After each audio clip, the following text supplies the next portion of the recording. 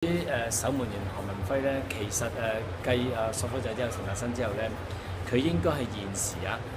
誒最 top 嘅咯喎。雖然佢個身材係比較矮，即係唔係話太高唔矮，但係唔係話太高，但係佢個彈力同個反應咧係誒，即係等於大家如果有熟悉嘅球迷都知道，有時 Masa 斯梅士個身材都唔係好高，但係佢彈力非常之好，反應非常之快，所以